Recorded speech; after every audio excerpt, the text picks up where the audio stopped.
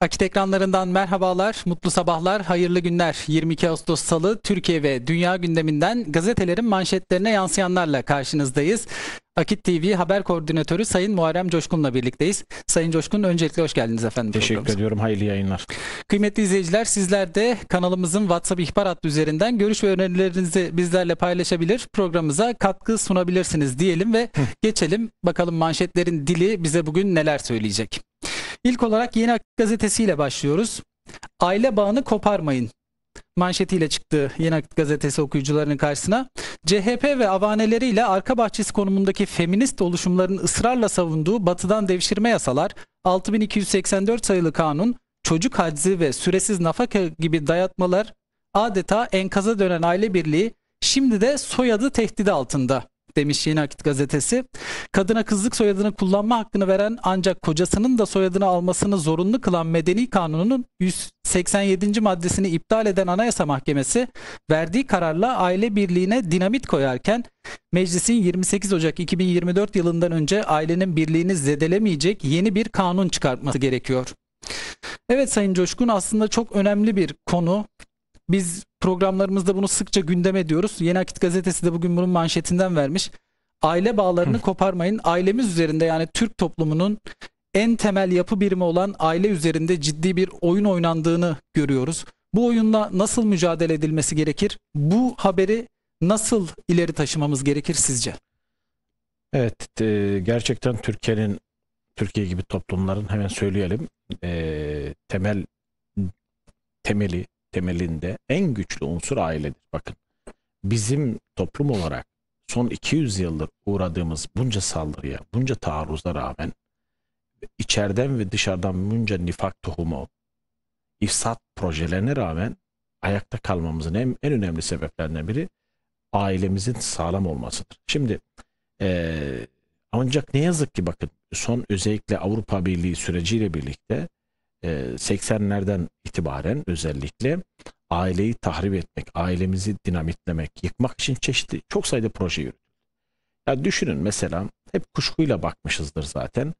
Ee, 1960'larda, 70'lerde, 80'lerde bile insanlar ayağına ayakkabı bulamazken, ekmek bulamazken devlet bazı aşıları köylere kadar ücretsiz götürdü. Neden götürür mesela? İnsanların açlığını bile düşünmeyen devlet bazı aşıları özellikle neden zorunlu hatta e, propagandasını yaparak köylere kadar Halk sağlığı hassasiyeti bir- denebilir Şimdi mi? Hı. mesela ben Doğu ve Güneydoğu'da özellikle birçok vatandaşımızın aşı, aşılara şüpheyle yaklaştığını çünkü kısırlaştırma tehlikesi olduğunu Hı. falan hep duymuşum. Ee, son yıllarda e, özellikle Avrupa Birliği süreciyle birlikte bizim çünkü Avrupa'dan Avrupa bugün artık biliyorsunuz gayrimeşru çocukta e, epey bir oran olarak %60 %70'lere çıkmış durumda. Amerika Birleşik Devletleri daha yüksek seviyede aile diye bir şey yoktur. Ee, e, dolayısıyla da çürümüş bir toplumdan bahsediyoruz. Ee, en ufak bir krizde de paramparça oluyorlar, yağmalamalar, cinayetler ve ülke kaosa dönüyor. Bizde bakın Türkiye aslında şimdiki değil. Bakın 2090'lı yıllar, daha önceki yıllarda çok krizler atlattı. Hem maddi krizler hem mane- manevi krizler. Ama bizim toplumumuzda ne var? Aile ve aile efradı dayanışması var. Bizde eee, kadının kadına yaklaşım, anne, eş farklıdır. Batıda farklı bakılır. Baba, dede, nine, aile, çocuklar, torunlar ayrı bir şeydir. Dolayısıyla eee, bizde çocuk eee, 40 yaşına gelse işsizse hala evin oğlanıdır ve baba ona harçlık verir. Doğru bir anlayış mı peki hocam? Ha şöyle bakın Örnek veriyorum şu Avrupa'da 18 yaşına geldiğinde çocuk evinden Ama ayrılıyor ve şimdi kendi var, bakın. sorumluluklarıyla Tamam bak sorumluluk vermek başka bir şey. Sorumluluk sorumluluk e, ama şunu anlatmaya çalışıyorum. İşsiz bir insan işsiz de kalabilir. İşsizliğin yaşı yoktur. Veya borçlanır, sıkıntıya düşer. Bunun yaşı yoktur. Olabilir. Hepimizin başına gelebilir. Geliyor da zaman zaman. Dolayısıyla ne yaparsın sen? İlk kapısını bizde ne yapar? Ailesinin kapısını çalıyor. E, evinin kirasını ödememişsin. Babası ona destek olur. Ailesi ona destek olur. Kapıyı açar. Yine e, harçlığını verir. Bu, bu, bu hasletleri batta göremezsin. Eş meselesine yaklaşımda hanım, bey, meselesine yaklaşım da çok farklıdır. Yoksa şey manasında değil. Sorumluluk manasında bizim medeniyetimizde 12 yaşında ülkeyi teslim etmiş. 7 yaşında 12 yaşında tahta çıkan padişahlarımız var. Yani dolayısıyla e, sorumluluk almak, sorumluluk vermek e, çok daha farklı bir şey. Biz bizim toplumumuzda yeri geldi mi sorumluluk vermek mesela birçoğumuzun dedesi ninesi 12-13 yaşında evlenmiştir. Evlenmek büyük bir sorumluluktur. Yani aile kurması istenmiştir bunlardan. Yani e, bu başka bir şeydir. Bunu şeyle karıştırmayalım. Yani bir insanın çocuğuna belli yaşlarda destek olmasıyla ona sorumluluk vermesi farklı şeylerdir. Bizim kültürümüzde ikisi de farklıdır. Yani ik- ikisi de meczedilmiştir. Her ikisi de e, yeri geldi mi çok daha genç küçük yaşta devasa sorumlulukların altına giren gençlerimiz var. E, delikanlılarımız var, kızlarımız var. Bunu da söyleyelim. Şimdi burada mesela diyeceksin ki soyadı e, bir zamanlar e, kadın hiç taşıyamıyordu mesela. Evlendiği e, şahsın soy ismini alıyordu ve öyle devam ediyordu. Ve bizde ve İslam'da da e, soy babadan, erkekten devam eder. Yahudilikte kadından devam eder. Şimdi baktığımız zaman ha bazıları şunu diyebilir. Kardeşim ne olacak? Yani bir ötesi bir soyadı değil mi? O kadar Ee, basite de- indirgeyebilirler. Bakın şimdi bir izleyicim buna, bu kalemi Muharrem Coşkun yazdırmış bana göndermiş hediye olarak. Teşekkür ediyorum kendisine. Şimdi başka bir kalem daha var. Bunda da Muharrem Coşkun yazmıyor. Ama ikisi de kalem.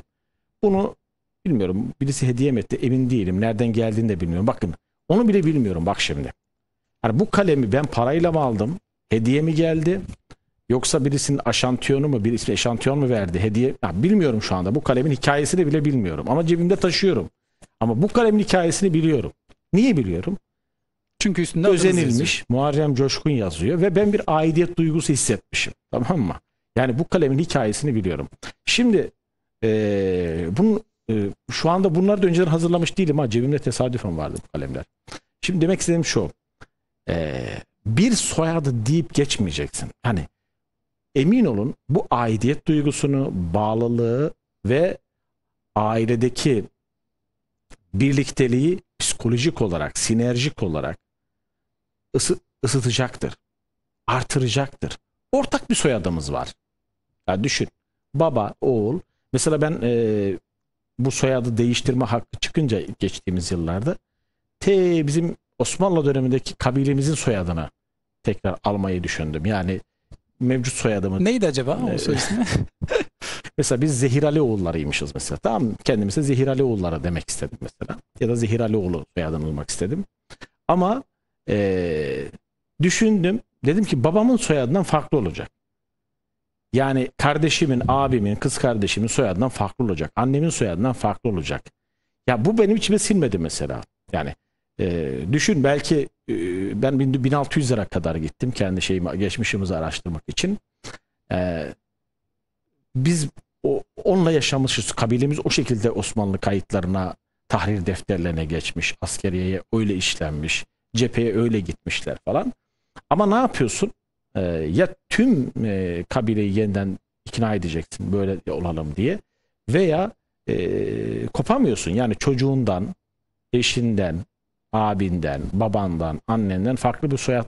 Soyad işte bu böyle bir şeydir. Bakın bunu anlamak için aslında biraz ailenin ne olduğunu, vefanın ne olduğunu, birlikteliğin ne olduğunu, ortak sesin, ortak duygunun, duygudaşlığın, e, aidiyet duygusunun ne olduğunu bilmek lazım. Şimdi dolayısıyla bu basit bir mesele değil. Yani soyadı meselesi basit bir mesele değil.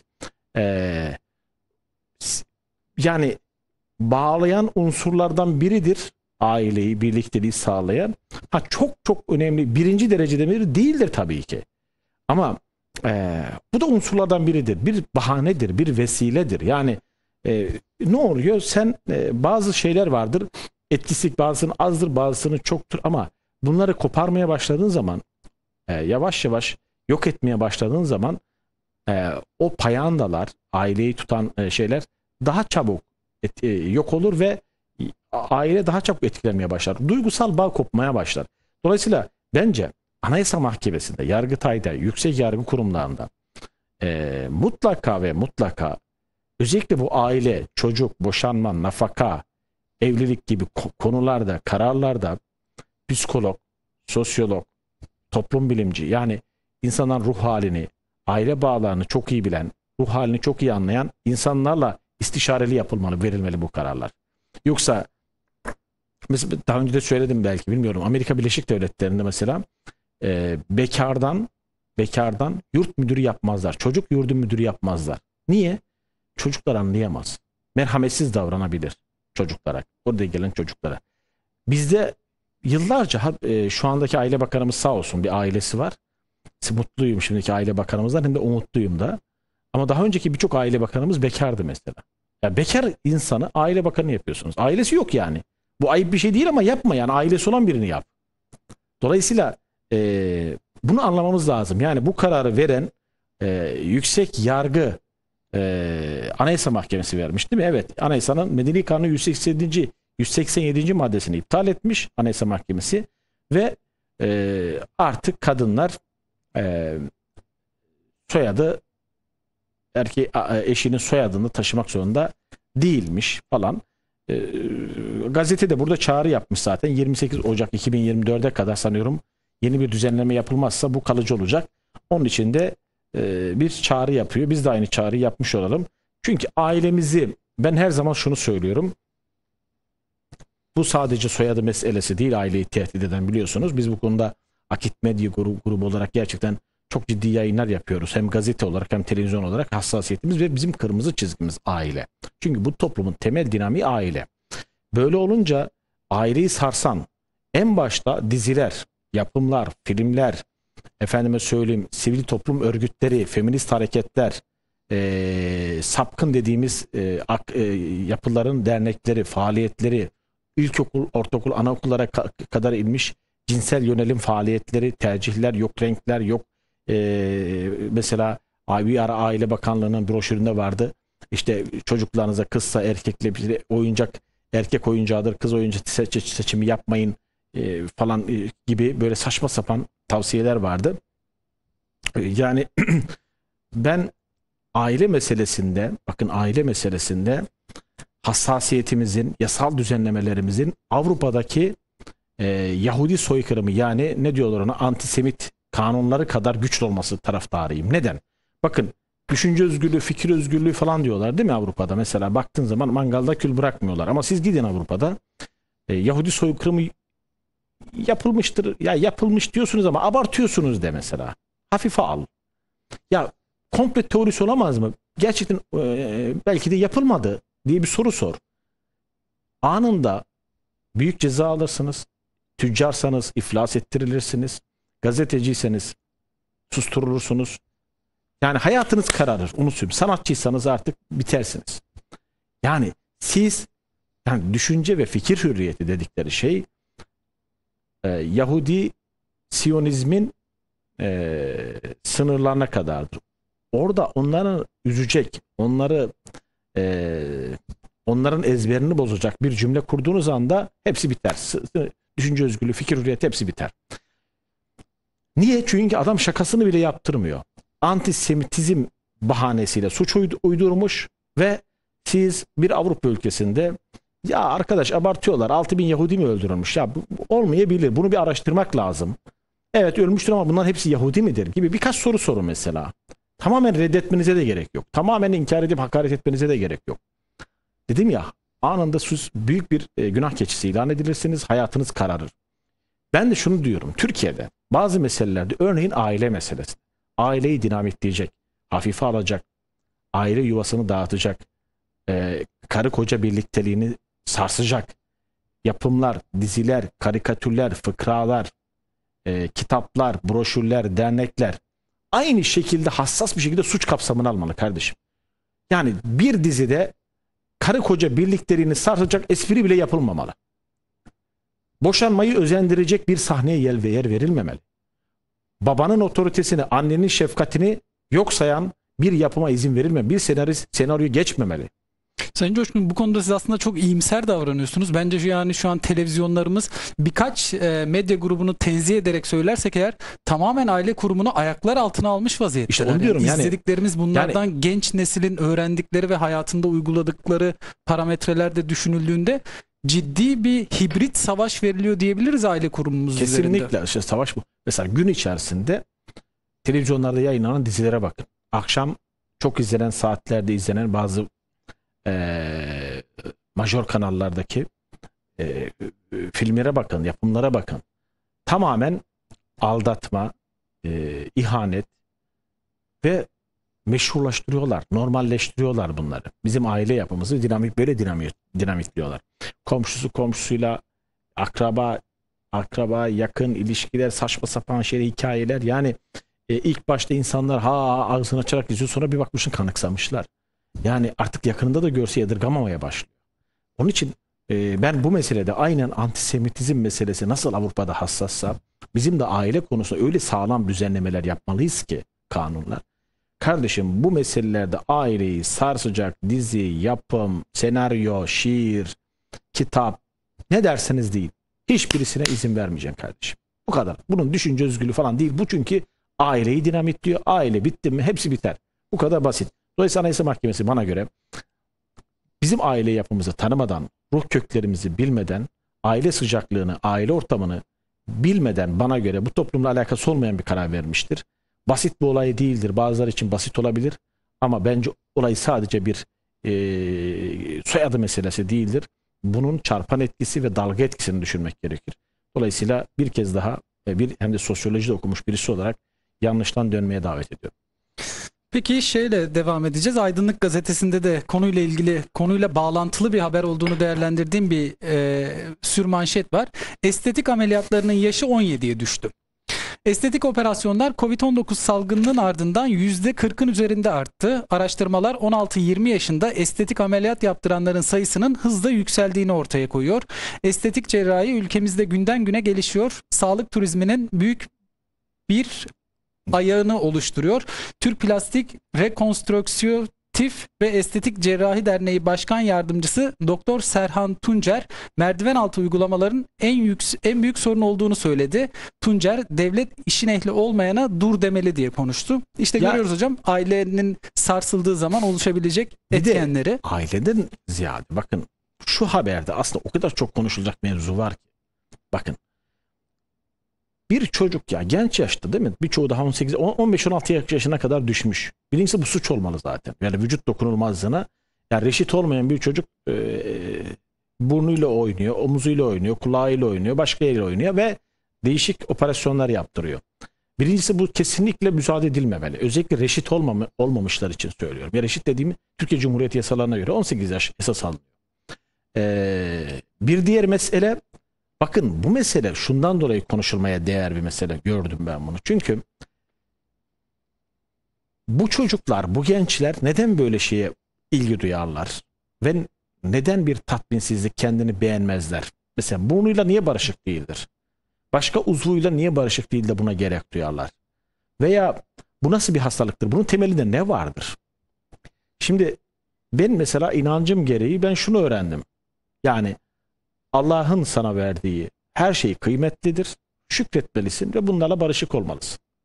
Yani senin kaşının da gözünün de mimarı Allah'tır. Kulağının da mimarı Allah'tır. Kalbinin de mimarı ayağının da omuzunun da. Ve buna şükretmelisin.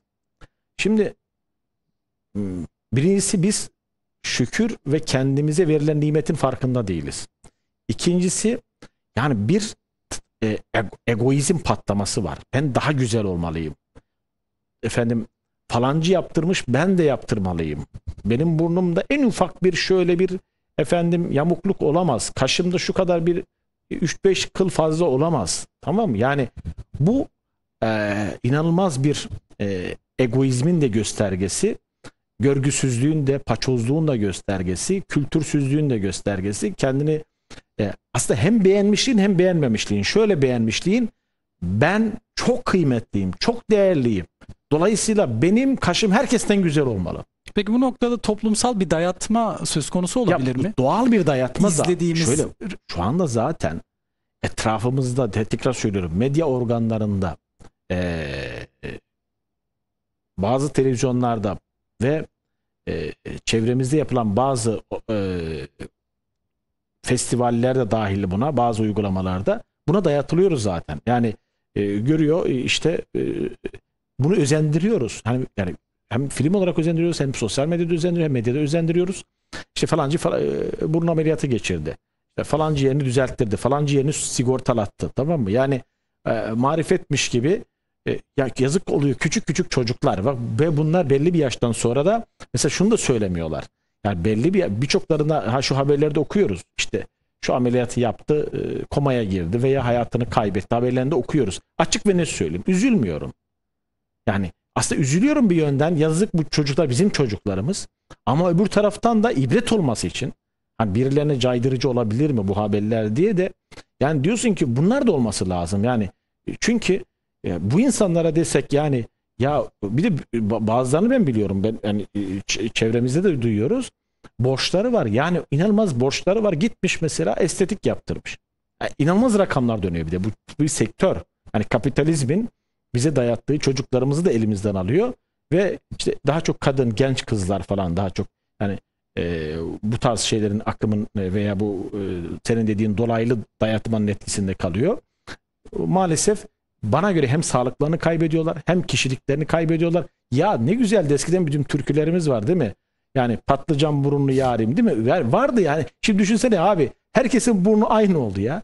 Herkes aynı kaşlı. Herkes ya arkadaş ya e, şiir yazacak bunu bulamayacağız artık. Yani düşün yani e, böyle bir saçmalık olabilir mi? Yani e, sanki herkes tornadan çıkmış gibi burunlar tek tip olmaya başladı. Kaşlar tek tip olmaya başladı. Yanaklar, yüzler, vücudun çeşitli yerleri e, yok abi bırakın doğal. Bakın doğallığın sadeliğin, kendinle barışık olmanın, birilerinin kıymetini bilmenin, şükretmeyi biz bu topluma öğretmemiz gerekiyor. Öğretmemiz burada ailelere çok iş düştüğü gibi eğitime işte medyaya da çok iş düşüyor. İşte burada ailenin sarsılmasıyla bakın iddia ediyorum. Bu mesele de yine yani bu estetiktir, saçmalıklardır bu e, e, operasyonların artmasına da grafik olarak bakın ailenin sarsılmasıyla birlikte bunların da artış gösterdiğini göreceksiniz. Sadizm daha çok e, gidecek. Kendini beğenmişlik daha çok gidecek. E, gidecek de gidecek ve bunun sonu gelmeyecek.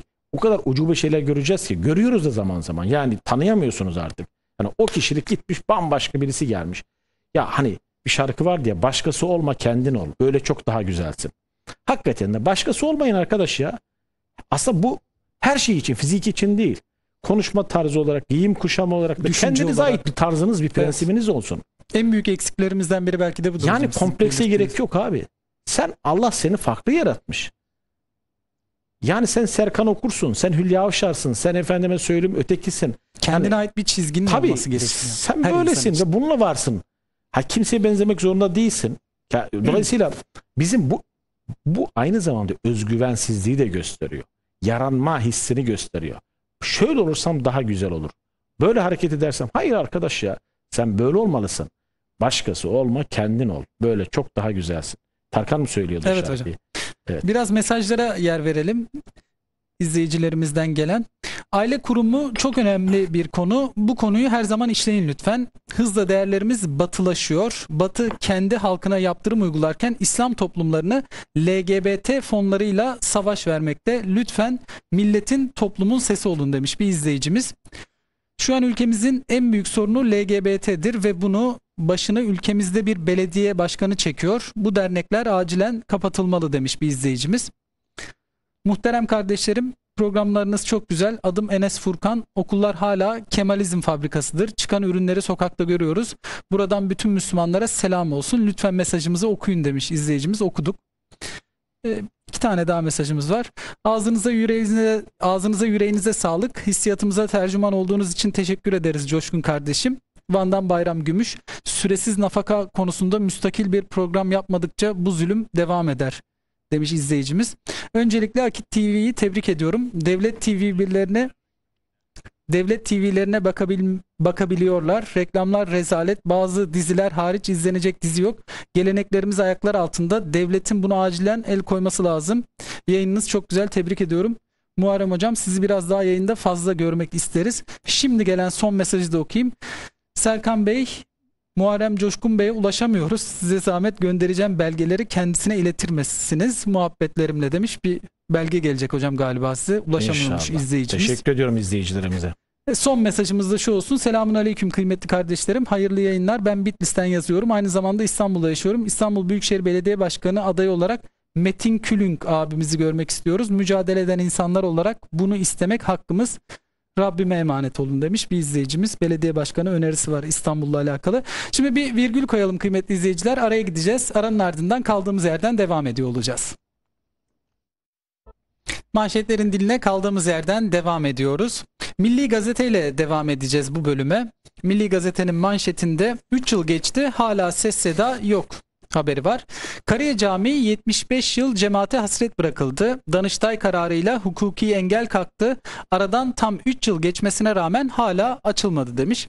Danıştay cami aslı fonksiyonu dışında kullanılamaz karar verdi ve 21 Ağustos 2020 tarihindeki Cumhurbaşkanlığı kararnamesiyle Diyanete devredilen Kariye Camii geçen 3 yılda hala açılamadı. Cami 2020 yılında açılışa saatler kala tekrar restorasyona alınmış ve açılışı 2021 yılının sonu tehir edilmişti. Hocam bu Kariye Camii konusu var ve Yeni Şafak'ta bir haber daha var. Başka yer mi kalmadı? Çirkin ATM'lere tepki. CHP'li İstanbul Büyükşehir Belediyesi tarihi dokuyu, çevreyi ve insanları olumsuz etkileyecek alanlara ATP, ATM kondurmaya başladı. İBB'nin Tophane Çeşmesi, Fındıklı Parkı, İstiklal Caddesi'ndeki Göktaşı gibi simge yerlere ATM dikmesi tepkiyle karşılandı. Şimdi bu iki haberi birleştirecek olursak Kariye Camii özelindeki değerlendirmeniz ne olur hocam?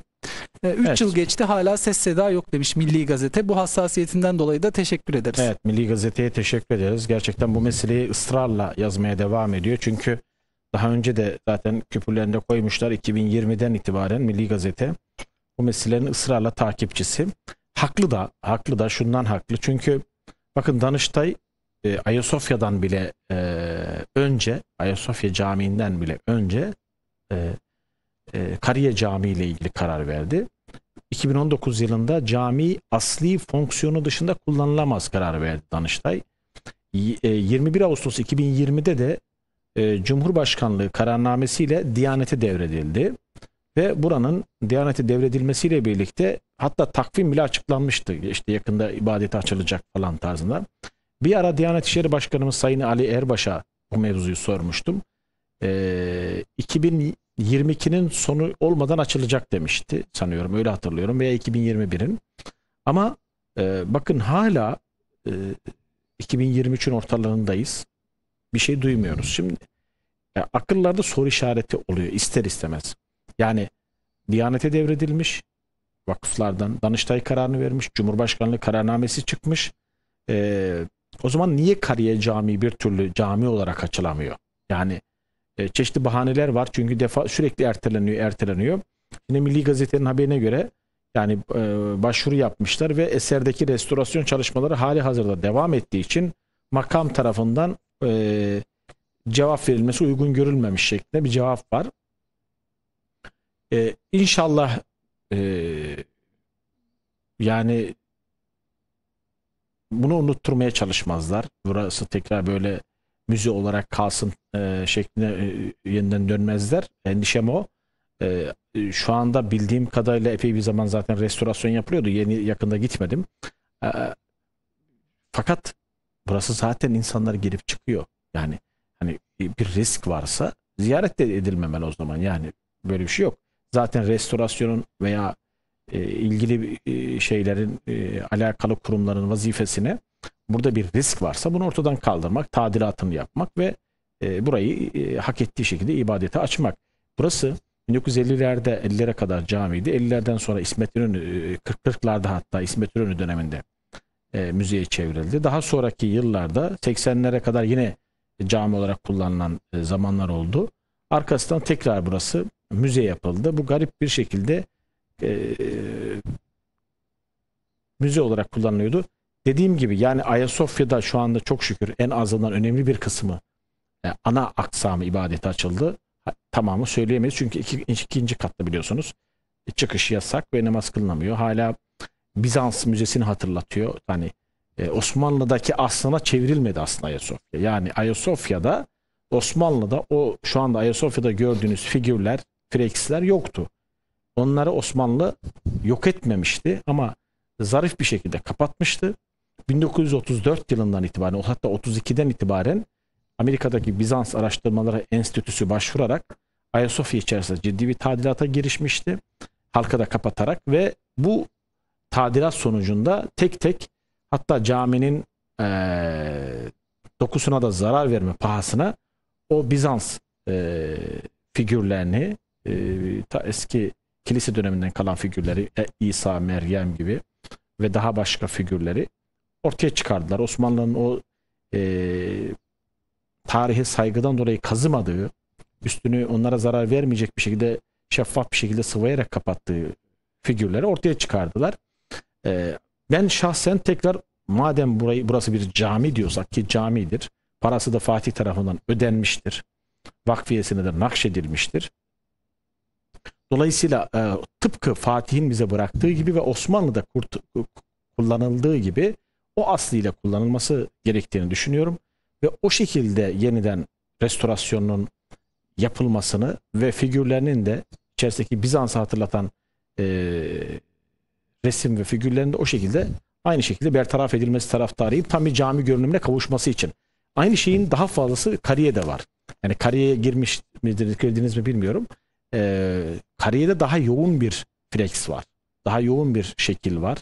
Ee, hakikaten inanamıyorsunuz. Yani bundan e, yüzlerce yıl önce insanlar e, muhteşem çizimler yapmışlar. E, bir sanat şaheseri koymuşlar ortaya.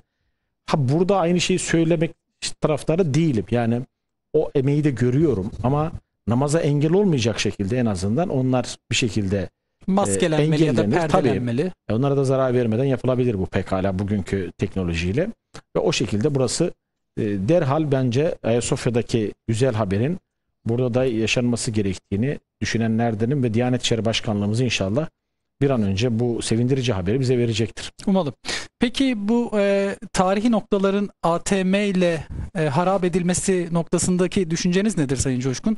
Baktığımız zaman İstanbul'un sembol noktalarında ciddi anlamda yoğun bir ATM enflasyonu görüyoruz. Her tarafta farklı bankaların e, ATM'leri ve bu tarihi dokuya da zarar veriyor açıkçası. Evet şimdi mesela eee, bu tarz tarihi çeşmeler, hanlar, hamamlar, camiler, medreseler eee, bunlar daha çok tabii bugün Suriçi diye tarif ettiğimiz eee, tarif ettiğimiz İstanbul eee, da oluyor. Yani Fatih, Eminönü diye tarif ediyoruz daha çok.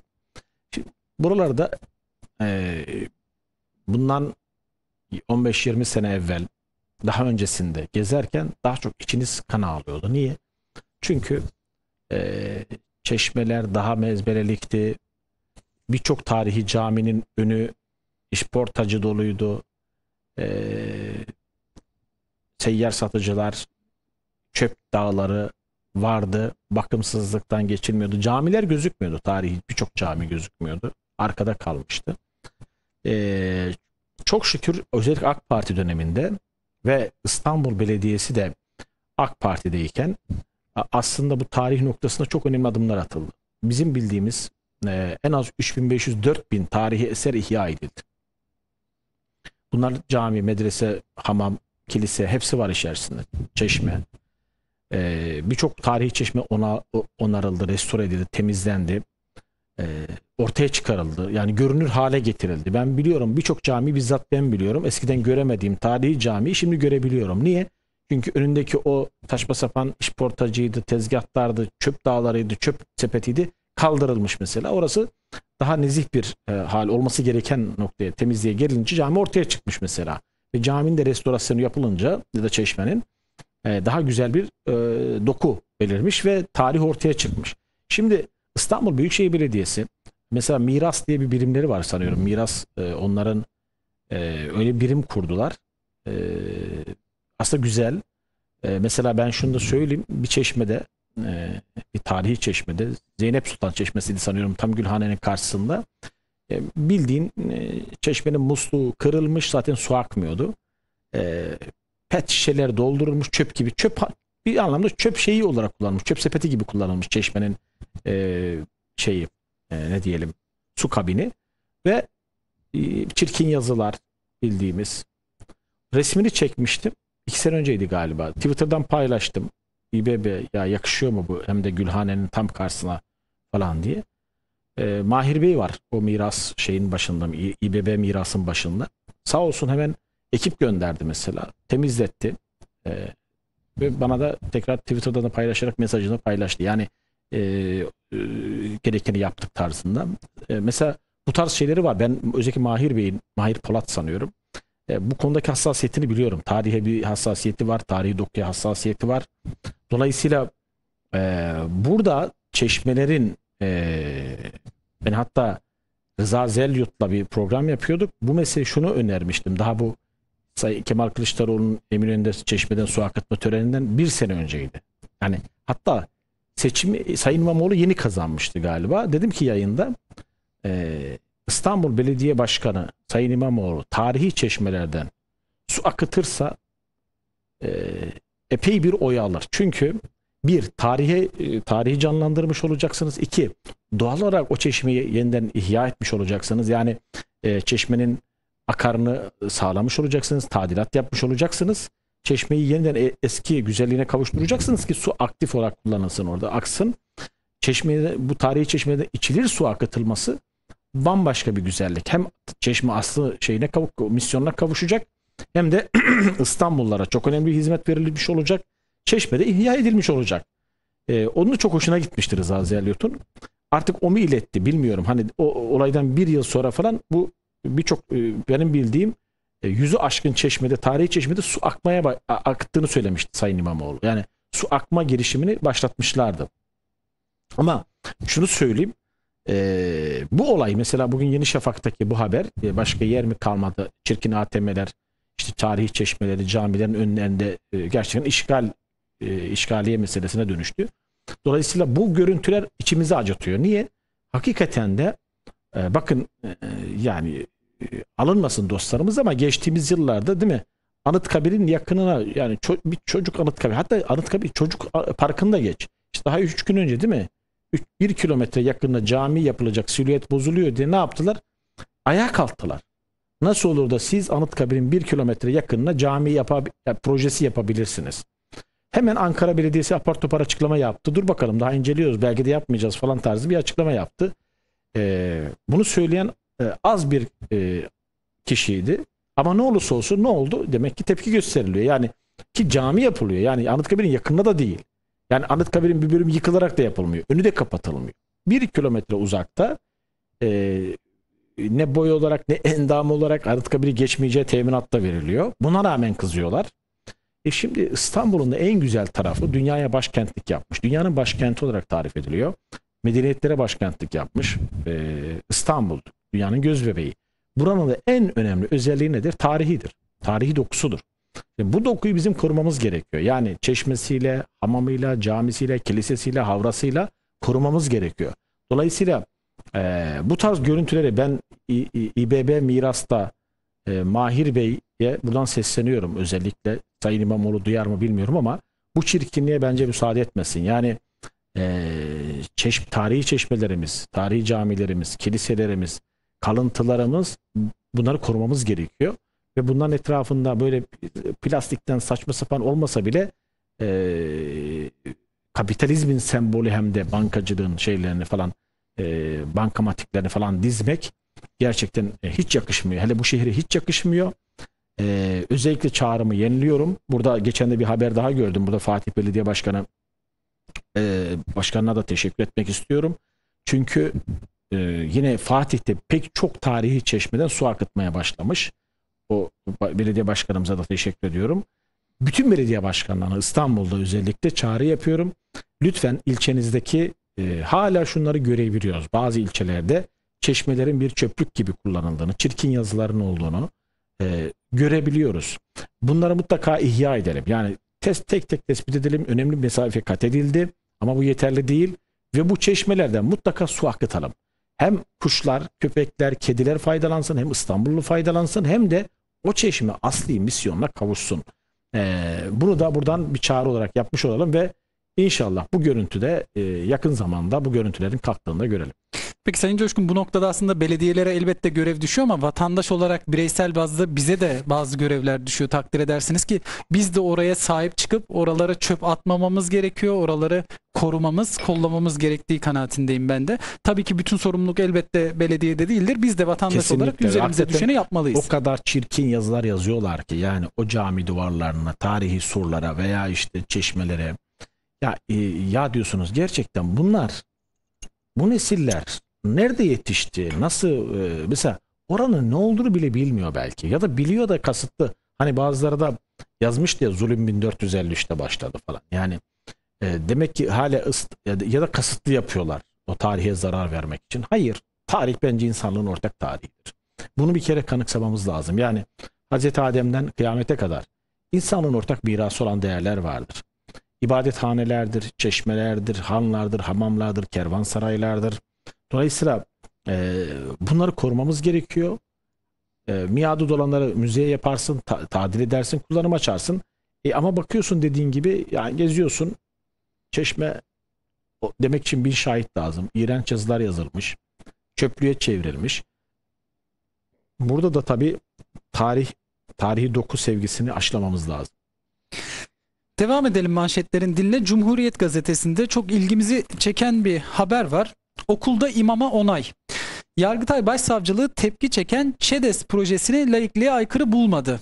Din adamlarının milli eğitime bağlı okullarda manevi danışman olarak görevlendirilmesine karşı yapılan suç duyuruları Yargıtay Cumhuriyet Başsavcılığında işleme konmadı. Başsavcılık ÇEDES projesi adı altında uygulanan protokolün laikliğe aykırı olmadığını savundu. Ee, şöyle sorayım. Yani okullarda, eğitim kurumlarında manevi anlamda öğrencilerimize destek sağlayacak görevlilerin olması kimi rahatsız eder? Sizce Sayın Coşkun? Şimdi mesela izleyiciler eee, şey yapabilir. Yani siz orada birinci sayfadan okudunuz ya ÇEDES ne kardeşim diye merak edebilirler. Eee, Cumhuriyet Gazetesi laikliğe aykırı değilmiş. İçeride de devam etmiş bu haberine. Geniş bir şekilde sayfa manşeti de yapmış.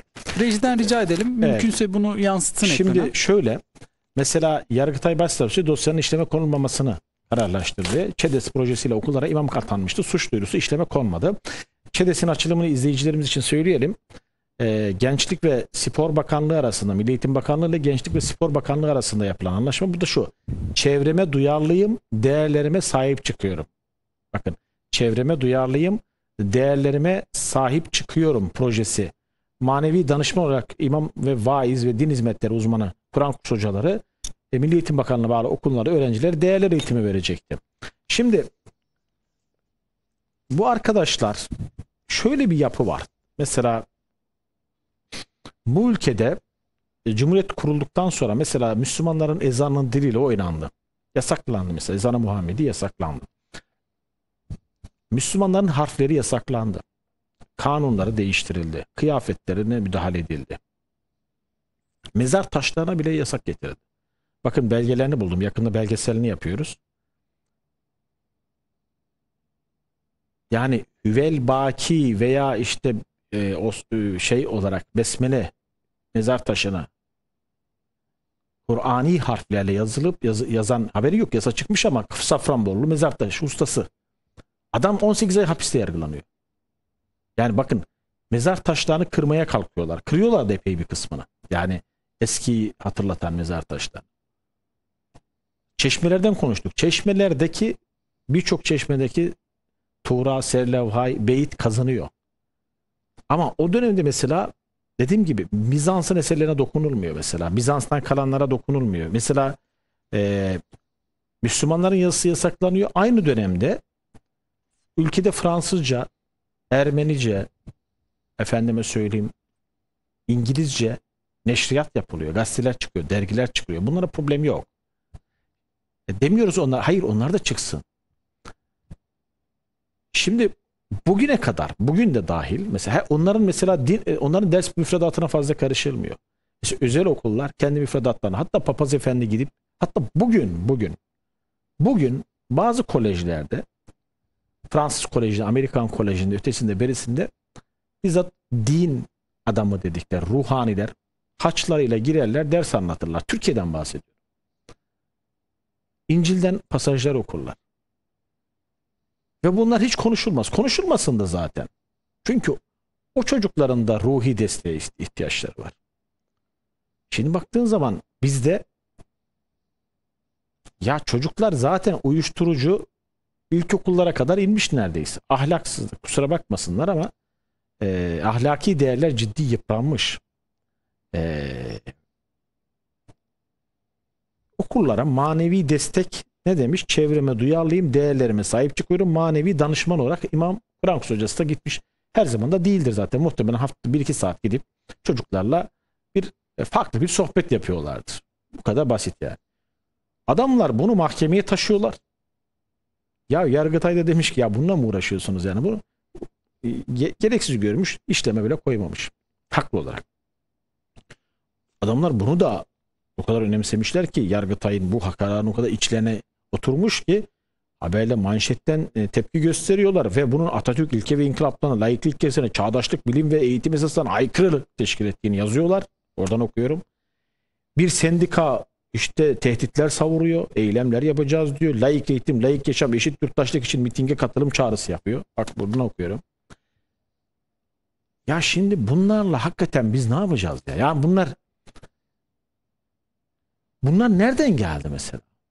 Ya işte e, toplumsal barış, birlik, kardeşlik e, diyoruz ya bunu bir türlü sağlayamıyoruz. Yani sağlamamızın yolu da yine eğitimden geçiyor ama e, burada ben şahsen e, açık ve net söyleyeyim.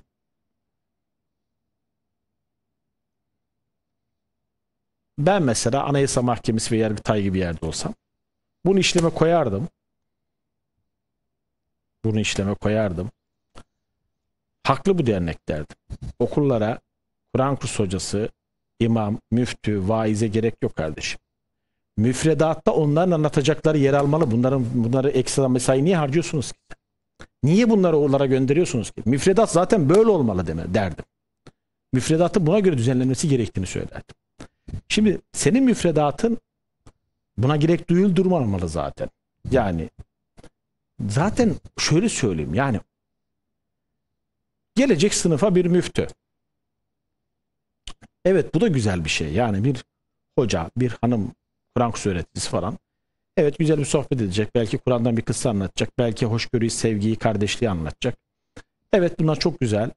Ama bu ne kadar etkili olacak? Bir, asıl senin müfredatında bu çocukların manevi kalkınmasını, kardeşliğini, he, değerlere, değerlerime sahip çıkıyor, çıkıyorum başlığının senin derslerinde fazlasıyla olması gerekiyor.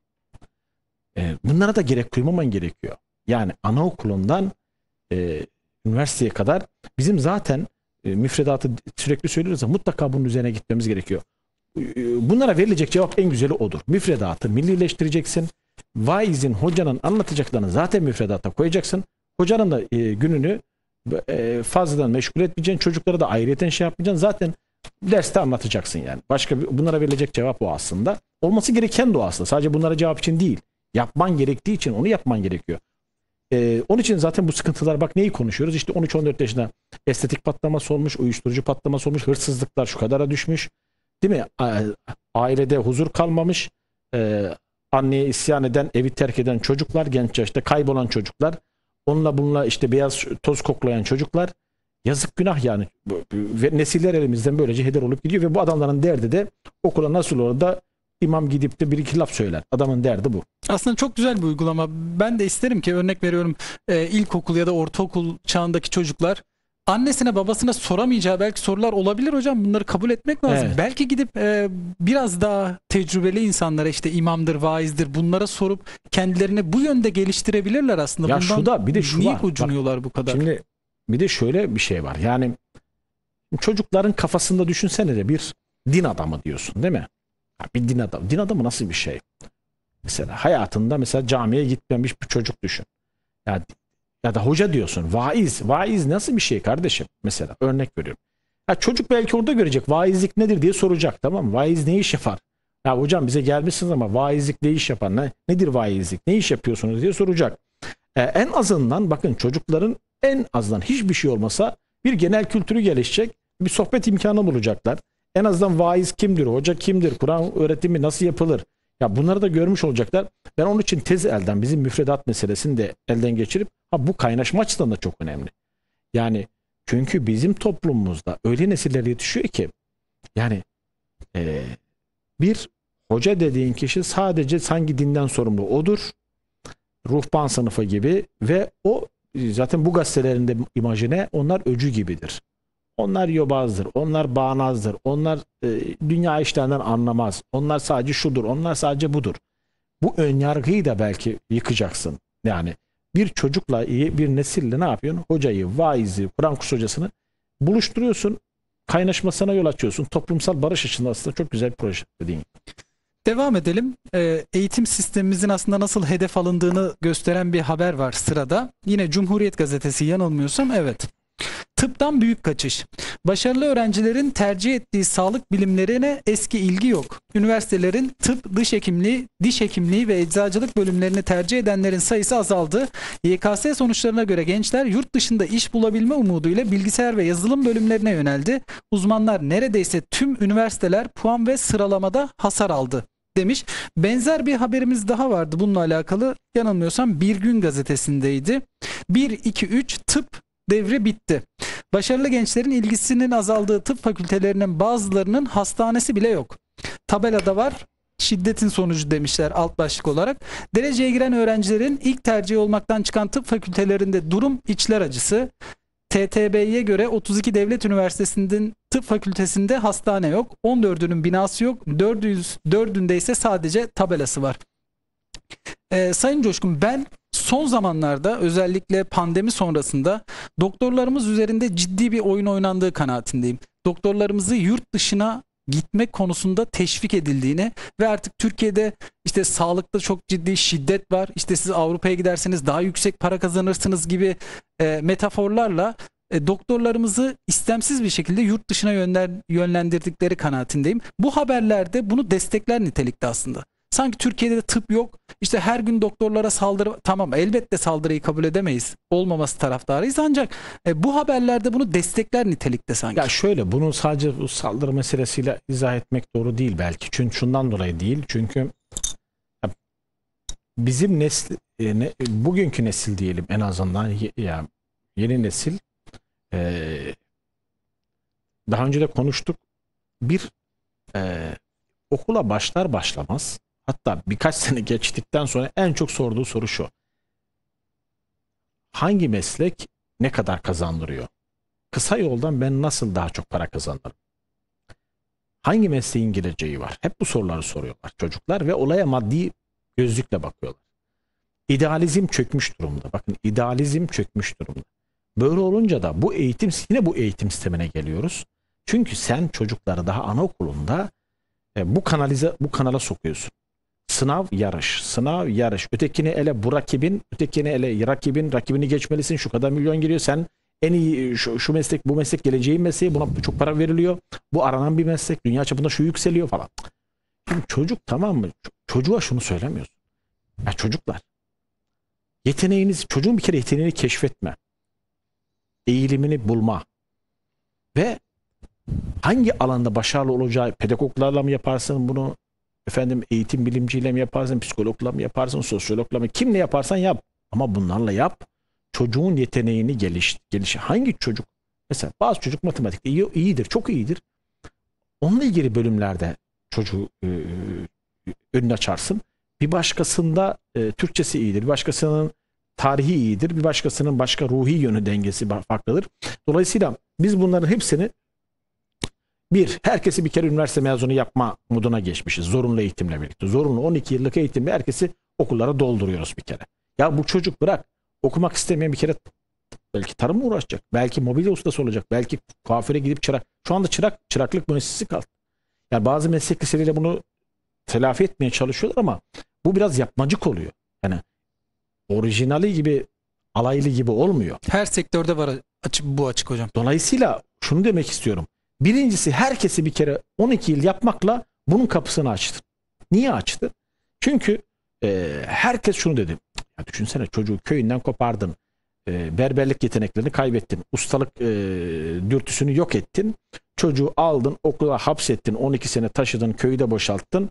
Ondan sonra çocuk hem de dedin ki işte şunu kazan yoksa yok olursun ayağın üstünde durman lazım meslek bulman bunun için iyi bir di- di- diploma üniversite falan çocuk geldi 20 yaşına bu çocuk daha köyüne de dönemiyor mobilyaya da gidemiyor kuaförlükte de Ve yeteneğini de kaybetmiş. bir meslek yok. Ya bu çocuk bu defa e, yani birincisi işsizliği patlattı. Diplomalı işsizliği patlattın.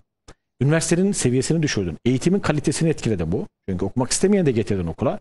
Adam okumak istemiyor. Zorunlu getirmişsin okula. Okumak isteyeni de engelliyor. Haylazlık yapıyor. Bir şey yapıyor. Ses gürültü yapıyor. Hani orada da okumak istemiyor. Öbür çocuğun da dikkatini dağıtıyor. Hocasına saygısızlık yapıyor. Ki bunları görüyoruz. Hocasına ense tokat atanları görüyoruz. Dolayısıyla bu yanlış bir kere. Bu, bu şeyin kapısını aralamış oldun. Yanlışın kapısını düğmeyi yanlış düğmeledin. Geliyorsun çocuklara verdiğin eğitim ve yüklediğin motivasyon. O da nedir? Çok para kazanma, kısa yoldan para kazanma, rahatlık. Rahatça en çok şundan para kazanırsın. İdealizmi de bitirdin. Şimdi tıp gibi, öğretmenlik gibi, hukuk gibi bazı meslek denen bu yapılan işler de idealizm çok önemlidir. Yani bir insan hakikaten bugün ben tıp fakültesini bitiren bir hekimin, bir doktorun eee, çok saygıdeğer olduğunu düşünüyorum. Neden? Abi az bir şey değil. 6 yıl tıp fakültesi okuyacaksın. Uzmanlık için ayrı sınavlara gireceksin. Ya 30 yaşını geçiyorsun hak- yani bir uzman doktor olmak için. Ve bu arada gece gündüz uyumadan çalışman, o geçilen aşamalar, acildeki yoğunluk, Türk, e, hasta potansiyeli, e, karşılaştığın vakalar, zaman zaman canlı tehlikeye atıyorsun, günlerce uykusuz kalıyorsun. E, bütün bu badireleri atlatman gerekiyor. Ve hakikaten aldığın maaş düşünüyorsun Avrupa standartlarında, bırakın Orta Doğu ülkeleri standartlarında o kadar var mı? diye soruyorsun. Dolayısıyla burada onu tutabilecek tek şey idealizm kalıyor. Ya ben en azından sevdiğim bir işi yapıyorum ve tatmin oluyorum. Parası az da olsa insanlara faydalı oluyorum. İnsanları sağlığına kavuşturuyorum ve sevdiğim bir işi yapıyorum. Tek tesellisi insanların bu olabilir. Bunu da yok ettiğin zaman bu idealizmi de bu meslek sevgisinde sadece maddiyata kanalize etmişsen eğitim sistemi olarak ki onu yapıyoruz. Bu defa çocuk ne yapıyor? Zaten ben e, diyelim ki kazanmış da tıbbı kazanmış biri ne diyor? En, en fazla parayı nereye veriyor? Kanada'da mı diyor? Amerika'da mı? İsveç'te mi? Almanya'da mı? Başvurumu yapayım diyor. Dilimi de geliştireyim. Gideyim. İlk fırsatta gitmeye çalışayım diyor. Değilse meslek değiştireyim diyor. Niye bu uğraşayım diyor. Aldığım rakam ortada diyor falan. İdealizmi öldürdüğünüz zaman bunlar çıkmaya başlıyor. İdealizmi öldürmüşsün. Paran da azsa tıp fakültelerine, hukuk fakültelerine idealizm isteyen ki aslında çok kıymetli, kadim bana göre kadim bir meslektir. Bunları bitirirsin. Yani normalde baktığın zaman değil mi? Hazreti Adem'den kıyamete kadar olan bir meslektir tıp. Neden? Çünkü o zamandan beri insanlar dünya kurulduktan beri canlılar var, insanlar var. Bu insanlar hastalanıyor değil mi? Eskiden darü şifalar vardı değil mi? Hekim başları vardı, hekimler vardı. E bugün de hastaneler var, doktorlar var. E bu insanlık var olduğu müddetçe hatta her geçen gün yeni hastalıklar türüyor. E, sağlık sektörü, sağlık diye bir şey var. Bunda uzmanlaşmak gerekiyor. Tedavi edilmesi gerekiyor değil mi? Ve dolayısıyla bu meslek ölmeyecek bir meslek baktığın zaman. Hatta tam tersine daha da e, grafiğinin yükselip daha da iyi imkanların kavuşturulması, maddiyatının daha da geliştirmesi gerek. Çünkü yeni yeni hastalıklar türüyor mesela. Değil mi? Yeni yeni hastalıklar duyuyoruz. Yani duymadığımız hastalıklar duymaya başlıyoruz. Dolayısıyla daha da önün açılıp pozitif bir şekilde propaganda yapılması gerekirken ne oluyor da terk ediliyor? Bundan az önce anlattıklarımdan dolayı terk ediliyor. Ee, bence yeniden buna dönülmeli. Tıbbın saygınlığı, hekimliğin bir daha güzelliği ve önemi bir kez daha gençlerimize empoze edilmeli. Ee, tıp fakülteleri çok önemli bir şey. Ve dediğin gibi pandemiden sonra ciddi bir hekim göçü yaşıyoruz, doktor göçü birçok ülkeye. Benim de tanıdığım dostlarım var. Ee, bunun önüne geçmemiz gerekiyor. Bunları tutmamız gerekiyor. Yani bize de mesela e, ikinci sınıf, üçüncü sınıf ülkelerden gelip doktorluk yapmaya çalışanlar var. Evet mutlaka içlerinde iyileri vardır. Emin ol onlar da belli bir noktadan sonra kendilerini biraz daha geliştirip belli bir dil öğrendikten sonra belki de burayı sıçrama tahtası gibi görüp buradan gidecekler. Dolayısıyla bunun önüne geçmemiz gerekiyor. Bu ciddi bir milli mesele haline gelebilir. Ee, ama şeye Gelmeden katılmıyorum. önlem alınmalı. Orada bir kara propaganda var. Yok bazen tıp fakültesi bile yok işte bölümle falan. Böyle bir şey yok yani. Saçma sapan e, bazı şeyleri de yani oradan e, yani bir karalama bir kılçık atmak için de yazılmış satırlar var. Kusura bakmasınlar. O kadar da değil mesele. Ama eee sağduyulu olarak bizim e, tıp, hukuk, eğitim, eğitim fakülteleri e, mutlaka bunları yeniden e, bunlar çünkü her zaman olabilecek şeyler. Yani hukuk da öyledir. Değil mi? İnsanlığın var olduğundan sonsuza kadar haksızlıklar olacak, iyilikler olacak, kavgalar olacak, gürültüler olacak ve asla gençler hukuk bitti, tıp bitti moduna asla girmesinler. Çünkü bu mühendislik aynı şekilde. Yani bunlar kadim meslekler ve bunlar sonsuza dek var olacaklar. İnsanlık var oldukça e, tıp ve hekimlik, şifa, hastalık bunların hepsi olacak. Dolayısıyla ölmez ve tam dersine daha da şaha kalkacak. Hukuk da aynı şekilde. Yeryüzü haksızlıklarla dolu. Her gün yeni vakalar çıkıyor, yeni davalar çıkıyor. Gündemin gelişmesine göre yeni olaylara tanık oluyoruz. Ee, bu konuda uz- yeni uzmanlaşmış e, hukukçular, avukatlar lazım oluyor. Dolayısıyla asla bu gözle bakmasınlar. idealizmi terk etmesinler. Ama bütün gençlerimize ben her zaman şunu söylüyorum. Ne olursa olsun parayı bir numaraya koymayın.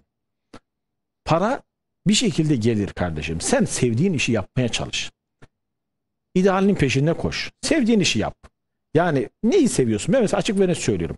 Ben işsiz kaldığım dönemlerde bile bir kamu kurumuna gidip başvurmadım. Yani çok paraya ihtiyacım zamanlar oldu. Ben gazeteciliği seviyordum. Yani sürekli yine gazeteci bir medya grubunda çalışmak istedim. Yani çok seviyorum. Yani ben gazeteciliği çok seviyorum yani. Sevdiğim bir meslek. Severek yaptığım için de fazla yorulduğumu hissetmiyorum. Ama e, zoraki yaparsan o meslek seni yorar kardeşim. İşkenceye dönüşür. Evet parası çok olsa bile para için katlanırsın ama mesleğine saygın da olmaz. Sana da saygı olmaz. O baş, çok da başarılı olamazsın ve kalıcı da olamazsın. Onu da gençlerimize tavsiye ederim. Peki Sayın Coşkun tek cümle olsun. Siz eğitim sisteminde sizin de önerinizle bu müfredat olayında bir adım atılacağını bekliyor musunuz? Neyle ilgili? Yakın zamanda müfredat değişikliği ya da eğitim sisteminin komple revize edilmesiyle Valla ben, alakalı. e, Yakın zamanda şimdi- var mı beklentiniz? Milli Eğitim Bakanı Yusuf Tekin e, beyefendiden çok umutluyum. Ben Yusuf Tekin'i çünkü geçmişinden de takip ediyorum. Yani bizim hassasiyetlerimizi taşıyan bir bakan, Anadolu'yu tanıyan bir bakan, Anadolu insanını, Anadolu insanının değerlerini, milli ve manevi değerleri de ki hassasiyetini biliyoruz ve Sayın Cumhurbaşkanı'nın da e, iki noktada başarılı olamadık. Biri eğitim, biri kültür dediğini de biliyoruz ki haklıdır Sayın Cumhurbaşkanı. Bu konuda Sayın Cumhurbaşkanı hassasiyetini de biliyoruz. Sürekli çünkü e, konuşmalarında bunu görüyoruz. Yani eğitim konusunda istedikleri noktaya gelemediğini belirtiyor ve vurgularından da anlıyoruz. Ama e, bizim bürokrasimiz maalesef özellikle eğitim bürokrasisi Sayın Cumhurbaşkanı'yla bence e, e, ne demek istediğini ya anlamıyor veya anladığı halde hayata geçmemesi için ayak dir- diretiyor. Yusuf Tekin'in bu konuda yapacağı çok iş var. Bakın Türkiye'nin temel meselesi eğitimdir. Yusuf Tekin bu meselede elini taşın altına koyarsa ki o ben o ideali görüyorum kendisinde. Çok önemli işler yapılabilir. Ee, müfredatı, müfredat devrimi diyorum ben buna. Mutlaka sil baştan bizim tarihimizi bizim yazdığımız, bizim e, anane, görgü, bizim e, e, derbi meselelerimizden oluşan, geçmişimizden olan oluşan bizim geçmişteki İmam Gazali'den, Farabi'den, Ali Kuşçu'dan, Hazreti Ömer'den, Hazreti Ali'den e, akıp gelen yüzyıllarca gelen e, kadim e, kıssalarımız ve çocuklarımıza anlatacağımız değerler mutlaka bu müfredatlarda yer almalı ve tekrar söylüyorum devlerin, pire pirelerin dev yapıldığı bu müfredat tarih e, anlayışı terk edilmeli ve dolayısıyla e, yerli ve milli bir müfredata kavuşmalıyız. Yoksa nesilleri kaybediyoruz. E, hiçbirinin önüne geçemeyeceğiz. Osmanlı Türkçesinin onu da söyleyelim Osmanlı Türkçesi e, Türkçesinin bana göre zorunlu olması gerekiyor. Ama zorunlu yapsanız bile şu anda belki bu kadar hoca bulamayacaksınız. En azından seçmeli de olsa çok daha cazip hale getirip iyi bir tanıtımının yapılıp bunun mutlaka şaha kaldırılması gerektiğini düşünüyoruz. Çünkü e, düşünsenize ye- 1928 öncesini okuyamayan bir nesil, Mustafa Kemal Paşa'nın nutkunu bile orijinalinden okumayan, okuyamayan bir nesilden bahsediyoruz. E, 1928'in gazetesini okuyamıyorsun, romanını okuyamıyorsun, o devre ait bir belgeyi okuyamıyorsun. E, kopuk bir nesil geliyor. Bırakın daha da 1960'lardaki bir metindeki kelimeleri de bile anlayamıyor, anlayamıyor. Bırakın lise talebesini birçok meslektaşımız bile sözlüğe bakıyor. Dolayısıyla bu neyin eseri? İşte bu bizim e, kadim değerlerimizden, geçmişimizden biraz uzaklaştığımızı gösteriyor. Yusuf Tekin'in tüm bunlara bence eğileceğini ummak istiyorum. Geniş çaplı bir reformasyon bekliyorum açıkçası. Yapmalı da bence. Bence sizin de tavsiyelerinizi dikkate almalı. Ee, bir mesajımız var. Emekli bir öğretmen olduğu için yer vermek istiyorum. Milli eğitim okullarında hiçbir zaman Müslüman Türk milletinin kültür ve inancına yönelik eğitim, öğretim hiçbir zaman yapılmadı. Bunu söyleyen emekli bir öğretmen.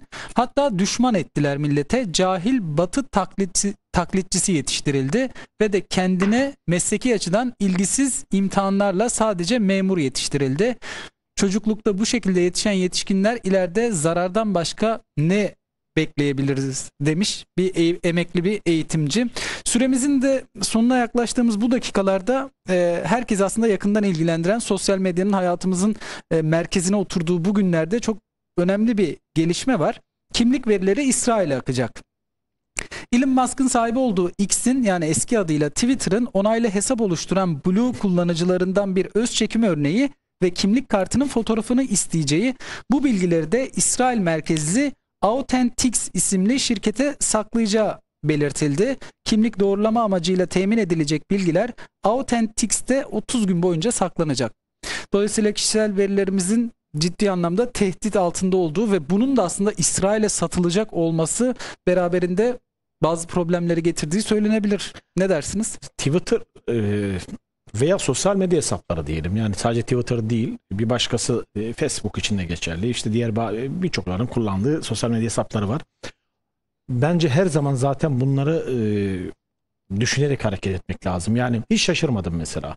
Yani Twitter'ın e, fotoğraf ve bilgileri İsrail'deki Nemne şirketine değil mi? Orada yazıyor. Authentics diye o- okudum ben ama Evet. Authentics evet. Yani oraya gönderdi, gönderdiği haberini hiç yadırgamadım ve şaşırmadım. Niye?